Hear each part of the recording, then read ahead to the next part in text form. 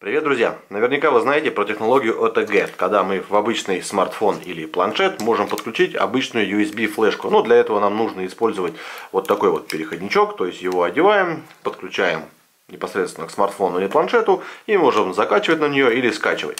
Вот с собой я таскаю флешку такую рабочую и чтобы можно было периодически подключить ее к смартфону, еще таскаю вот такой вот переходничок. С одной стороны удобно, а, могу любую флешку воткнуть, да и любую USB, именно то, что вот мне нужно было.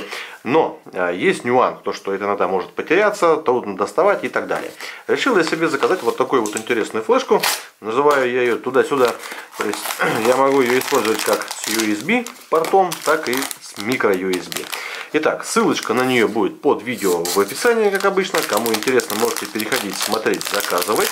А, у продавца много различных цветов этих флешек, там и синий, и зеленый, и розовый, по-моему, и также различные емкости, от 4 до 32. Я себе заказывал на 32 гигабайта. Э, и именно черную, именно черная мне пришла. Так, что можно сказать по материалам? Пластик у нас здесь идет soft touch, то есть, наверное, вам видно, да, что это матовый полностью пластик, прикольный на ощупь, классно.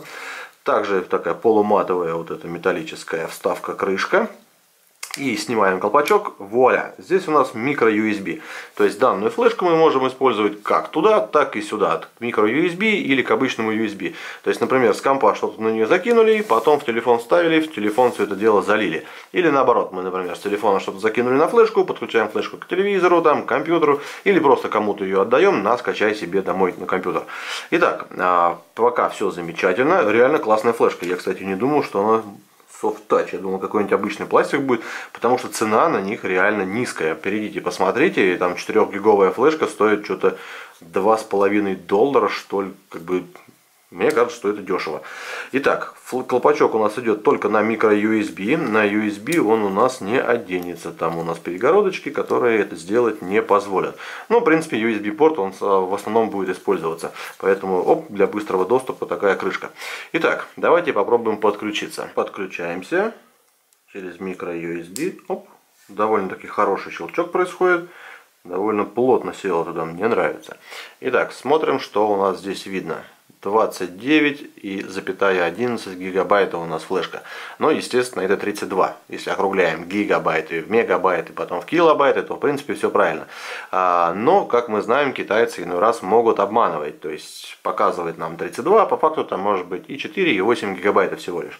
Сейчас мы еще проверим также все это дело на компьютере. Ну, давайте попробуем на нее что-то скинуть и с нее скопировать. Сфотографировал я вот эту флешку, и давайте попробуем этот снимок перенести на флешку подключенную. Итак, копируем USB накопитель, вставить скопировано. Давайте попробуем запустить ее отсюда. Пожалуйста, работает.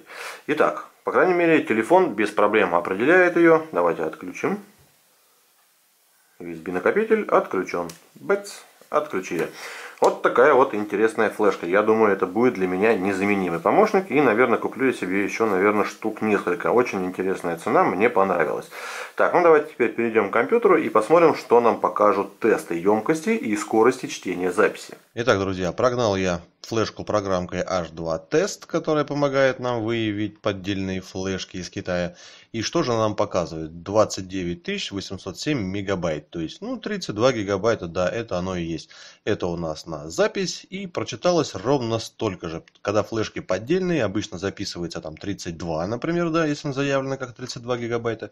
А вот считаться с нее может порядка 8 гигабайт, 4 гигабайт.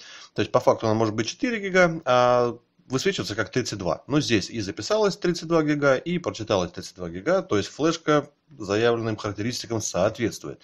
Так, и по скорости. Скорость меня удивила. 22 мегабайта в секунду это у нас запись и чтение 25 мегабайт в секунду. У меня флешки, вот сколько у меня флешек штук, наверное, 8 или 10, они все работают у меня примерно 11-12 мегабайт в секунду. У меня как бы железо не очень мощное, но все-таки. А, и не знаю почему, эта флешка вот такие параметры выдает. Хотя стоит она дешевле, чем любые мои вот эти рабочие флешки. Ну, я приятно удивлен, ребят. Реально хорошая флешечка получается. Но давайте сейчас для примера что-нибудь на нее закинем. Так, сейчас тут у нас полно файлов. После программки, после прогона. Все это мы удаляем. И давайте закинем, ну вот, например, вот это видео и посмотрим Смотрим. Опа.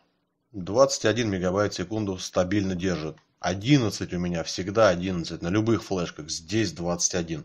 Сейчас давайте также попробуем его прочитать. То есть запись это одно, а чтение это другое. Как бы продублируем показатели программки H2 Test, перепроверим ее. Так, все скопировалось, пожалуйста. Заходим, копируем обратно. Так, пускай заменить.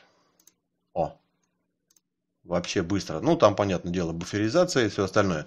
Но в любом случае, вот программа показывает ровно те же показатели, что и обычное копирование 22 мегабайта и 25 мегабайт соответственно. Так что, друзья, флешку я вам крайне рекомендую, реально классная. Ну, точно я себе возьму еще несколько штук и на подарки родным и близким друзьям. И себе еще, наверное, парочку возьму, потому что пригодятся. Так, ссылочка на эту флешку будет под видео в описании. Как всегда, можете перейти посмотреть, кому необходимо, можете заказывать. Протестировали, флешка хорошая, продавец нормальный, все в порядке. А при заказе на сайте Алиэкспресс не забывайте, что любые товары можно купить реально дешевле, чем они на самом деле, и еще на этом даже и заработать.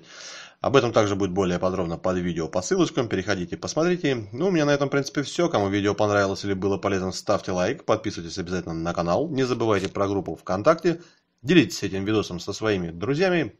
Пока!